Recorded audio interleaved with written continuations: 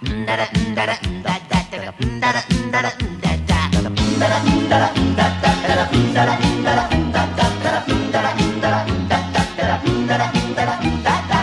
婆婆婆摸摸佛，你讲什么话听我？说起来你什么也不会。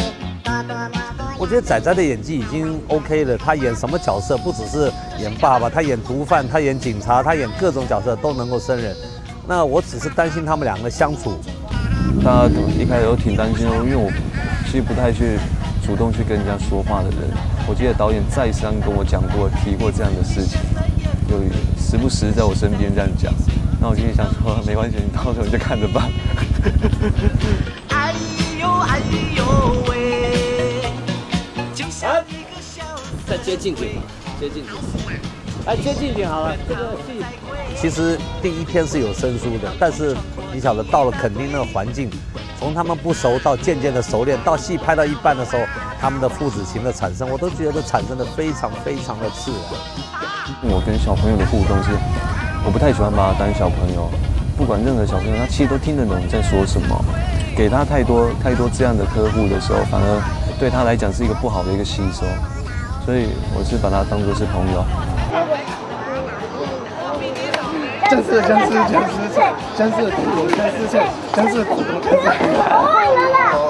哦耶！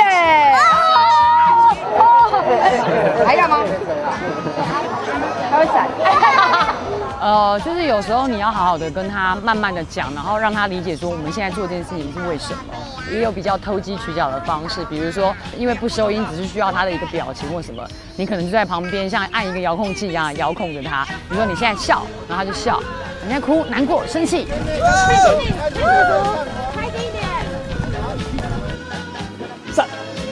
谢谢导演。嗯，演的好，这是你自己演的好。总有时候会开开哭的，因为是开心看到爸爸了，知道吗？然后但是又有一点难过，哦。你用你自己的方法在内心里面，每个人都有每个人的方法，你的方法更厉害，几秒钟就过了，比我还厉害。除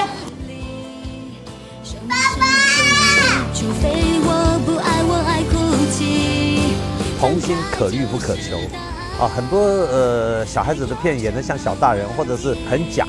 那天才的童心就是能把这个可爱的纯真的一面在镜头前面表达出来。我真的是每次每次看到他，每次都很开心。捕捉到小孩子最纯真那一面的话，你就会觉得那些过程是很值得的。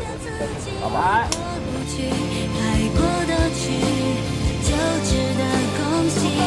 只要愿意。